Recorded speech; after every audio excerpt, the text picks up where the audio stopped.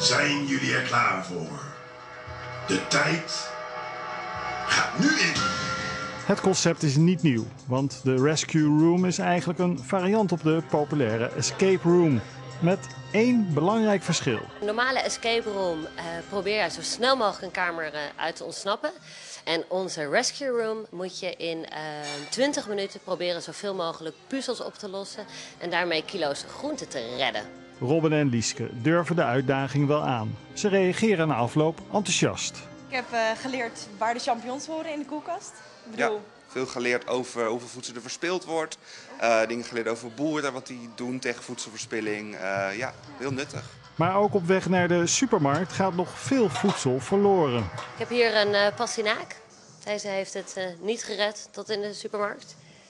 En ook eh, deze kromme wortel. Waarom zou je die niet willen kopen?